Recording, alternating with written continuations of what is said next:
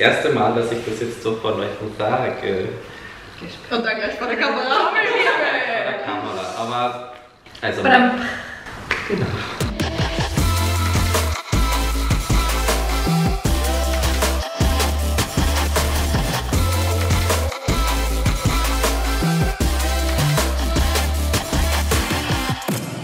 Also mein Problem ist, was ich habe, ich bin so selbstkritisch, dass ich mit mir selbst so unzufrieden bin und mich theoretisch immer nur mit anderen schönen Männern vergleiche und dadurch extreme Selbstzweifel an mir selbst habe und immer versuche, so schön wie diese Menschen zu sein. Und mich dadurch.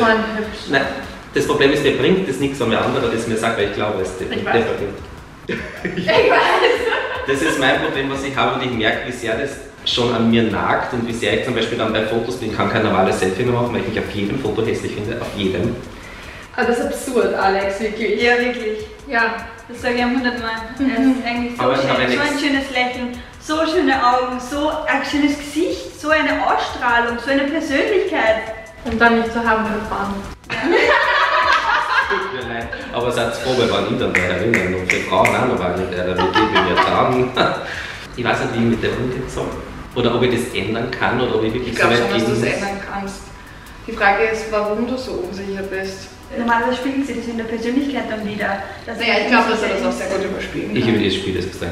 Also ich Also kenne das, das, ich das früher sage auch ich, wie gesagt, habe ich noch nie jemandem gesagt, dass das eigentlich so ist, dass ich extreme Selbstzweifel an dem habe, was ich mache. Das kenne ich, also ich glaube, dass du das einfach auch gut überspielen kannst. Ich glaube, ich würde mich halt bewusst mit mal den Problemen, die du mit dir selber hast, auch wirklich versuchen, selber rauszufinden. Weil ich finde, man weiß manchmal nicht oder man versucht absichtlich nicht dran zu denken, warum man vielleicht unsicher ist, einfach um sich selber ein, gar nicht damit auseinanderzusetzen. Weil ich glaube, es ist für dich halt auch sehr unangenehm, dich damit auseinanderzusetzen, oder? Nein, nicht unbedingt, weil es ist ja nicht so, als würde ich mich selbst belügen. Also ich Mhm. weiß ja genau, was das Problem ist. Aber ich schaue mir in den Spiegel und denke mir, um Gottes Willen.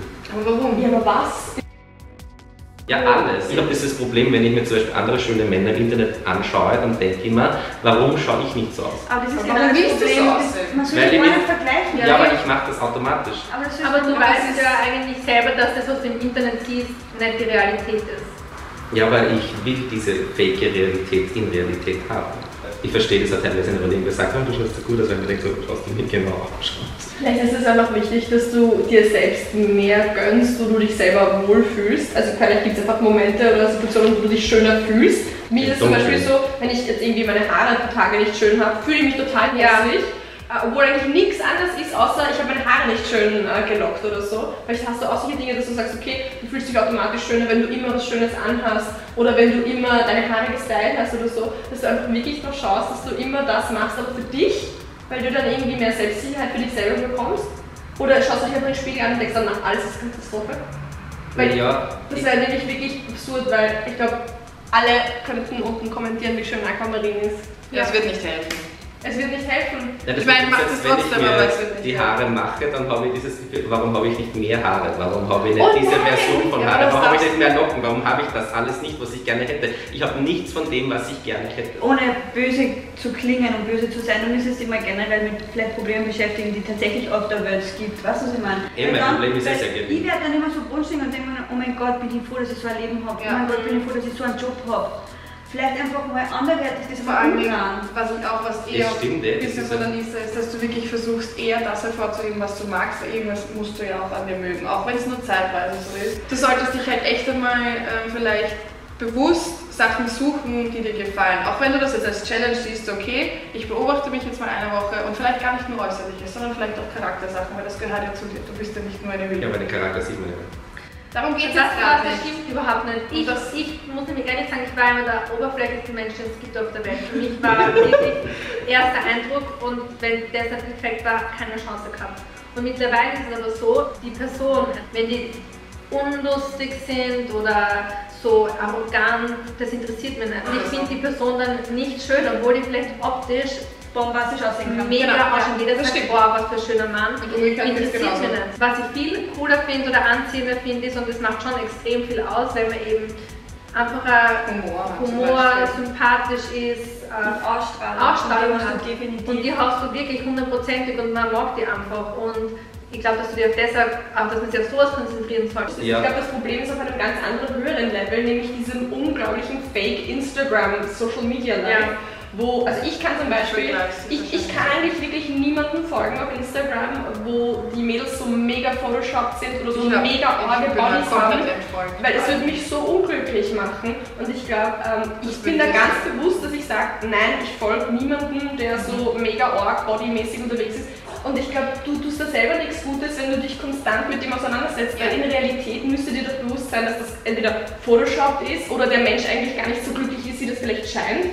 Ähm, Also, also, du ja eh auch wissen. also ich aber mich vielleicht nicht konsumieren. Instagram soll nicht dazu da sein, dass du dich schlechter fühlst danach, sondern eigentlich, dass du dich motiviert fühlst. Und, bin dass ich genau in diese Falle getappt, wo wir andere eigentlich immer so warnen. Ja. So, und das wäre halt echt schade drum, vor allem, weil du ja auch mit der Plattform arbeitest. Das heißt, du müsstest eigentlich noch genauer darauf achten, dass dir diese Plattform eigentlich dich nur pusht und nicht runterzieht. Weil ich glaube einfach, dass das sogar in meine Kindheit zurückgeht, dass ich von meiner Familie nie für wirklich was gelobt worden bin, was ich bin oder was ich mache und dass ich darum extrem bei mir versuche, so perfekt wie möglich zu sein, um irgendwann einmal Anerkennung zum Beispiel von meiner Mutter zu bekommen. Ja, Ja, aber schon als ein nebenbei gesagter Ja. Satz, aber das ist eigentlich der Ursprung. Ja, es so das teilweise denke ich, mir, ich habe so eine liebe Familie und ich liebe sie über alles und sie sind ja wirklich nett zu mir. Ich glaube, insgeheim habe ich immer dieses Bedürfnis, dass ich dann irgendwann, dass meine Mutter mir sagt, so, das, das schaut toll aus, was hast du toll gemacht. Meine Mutter schaut zum Beispiel gar nichts von dem, was ich mache. Hast du deiner Mama schon mal gesagt, dass es dir so ähm, viel bedeutet? Ich Ja. bin auch mal mit deiner Mama. Aber sie sagt dann einfach drauf, es gefällt dir nicht und bevor sie mir schlechte Sachen sagt, schau, das ist gar nicht auf.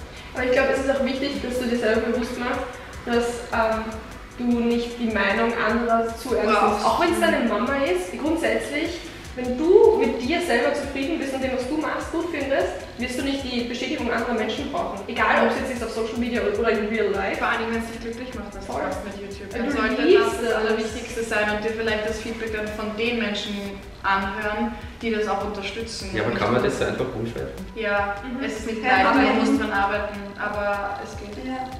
Ja, wir haben zum Beispiel immer das Bedürfnis meiner Mutter davon zu erzählen, was ich gemacht habe, was ich erreicht habe, was ich jetzt zum Beispiel Ja. wieder machen darf. Und Ja. ich weiß ganz genau, sie will es nicht hören. Vielleicht versteht sie es auch gar nicht. Aber Für sie, einen anderen, den es interessieren würde, den du es erzählen kannst? ja schon, aber es ist, für mich nicht denselben Stellenwert, wie wenn es meine eigene Mutter Aber ich verstehe das schon, aber das haben meine Eltern auch, die haben ganz lange ähm, braucht, bis sie eigentlich akzeptiert haben äh, überrissen haben, was ich eigentlich mache und ich will ihnen auch nichts zeigen von mir, weil ich wusste, dass es ihnen nicht ta- taugen wird. Ja, genau. Und jetzt, sie sind so stolz, sie sagen mir das jeden Tag, jeden Tag. Ich glaube, das Wort. und vielleicht, und das ist ja das, was du brauchst, und es Ja, stimmt aber auch. es kann, ganz ehrlich, ich will jetzt gar nicht sagen, dass du damit rechnen kannst, weil es gibt sicher Eltern, bei denen wird das nie kommen. Und deshalb solltest du auch gar nicht darauf warten, sondern ich würde wirklich schauen, dass du dir selber den Gefallen tust und jemanden findest, den du dem du es erzählen kannst, der sich freut, wo du Feedback kriegst und sagst so, hey, hast du gut gemacht. Und vielleicht, vielleicht, es kann sehr wohl sein, dass es bei deiner Mama irgendwann diesen Switch gibt. Meinem Papa erzähle ich bis jetzt nicht alles ganz genau, weil er erstens er hat keinen Plan davon, zweitens bis vor einem halben Jahr hat er mir immer noch gesagt so, hm, willst du nicht doch lieber studieren, bla bla bla und Mhm. damit kannst du ja nicht leben, bla bla bla.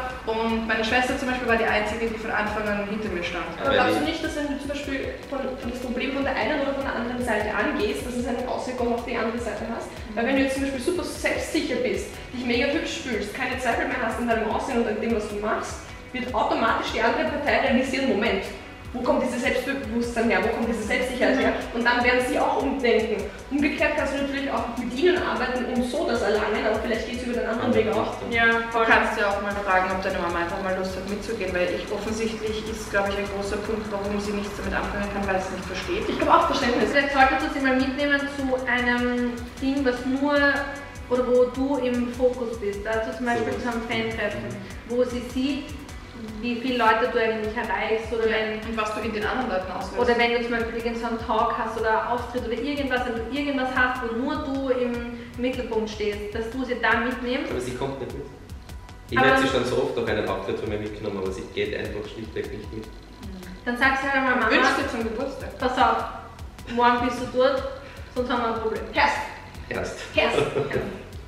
Die Fans sollen Alex Mama einen Brief schreiben, sie sollen unbedingt mal auf einen Auftritt von Mhm. Alex gehen.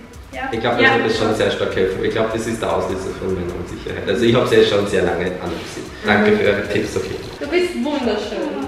Gruppenkuscheln. Oh. Yay! Irgendwann sitzen wir wie fünf so alte Omas da auf dieser Couch, stricken uns einen Schatten.